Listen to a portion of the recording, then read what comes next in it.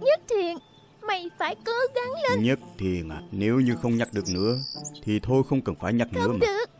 Phương trưởng nói đồng người phải kiên cường.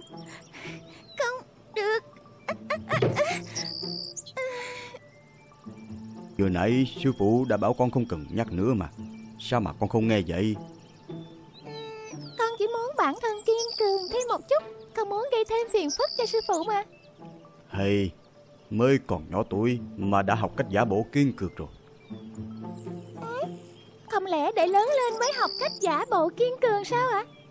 Thế nhưng vì những bức bách trong cuộc sống Những thất bại, cản trở Mà bị tổn thương Chỉ có thể chọn cách để vết thương lên vảy Trở nên cứng cáp Rồi sau đó mới giả bộ kiên cường. Để che đậy sự yêu đuối Nói ra đều là chuyện bất đắc dĩ. Ừ, Vậy con người cũng khổ quá rồi. Cuộc sống mà. Vốn dĩ là một trận tu hành. Cũng may trước mặt người yêu Người thương con Con có thể giữ bỏ lớp ngụy trang Không kiên cường cũng không sao cả.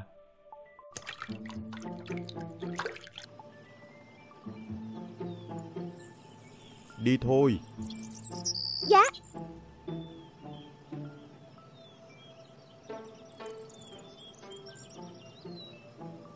Sư phụ Nếu như không nhấc được nữa Thì đừng có cố nữa ạ Nói bậy. Thế lực của ta À nhất tiền Chúng ta ờ, Chúng ta đến phía trước nghỉ một lát. À, Không phải là vừa nãy chúng ta nghĩ rồi sao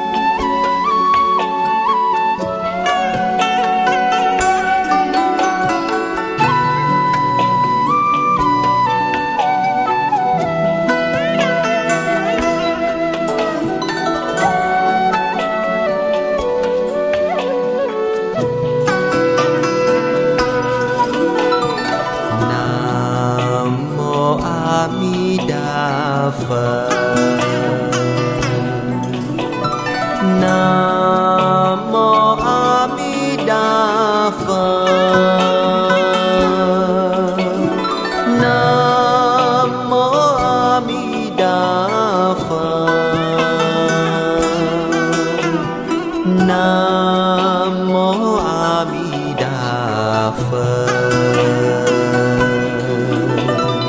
Nam mô A Di Đà Phật.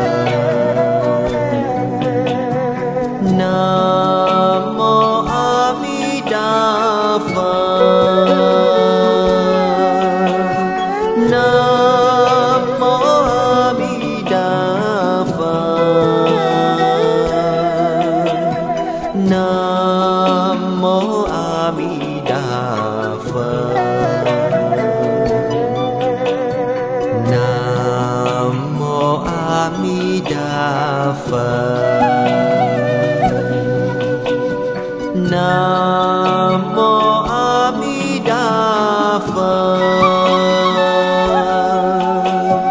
Nam mô A Di Đà Phật. Nam mô A Di Đà Phật.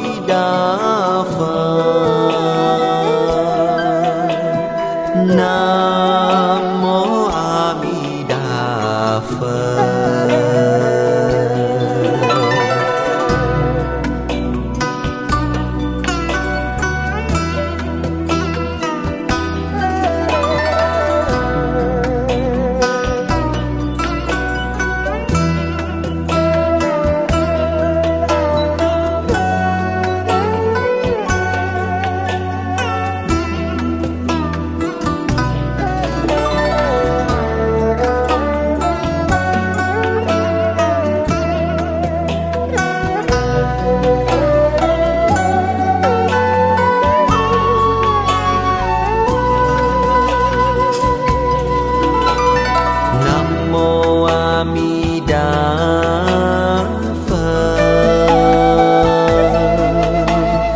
Nam mô a di đà phật. Nam mô a di đà phật. Nam mô a di đà phật.